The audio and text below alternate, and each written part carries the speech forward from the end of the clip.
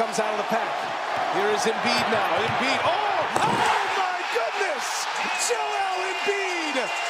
Running the break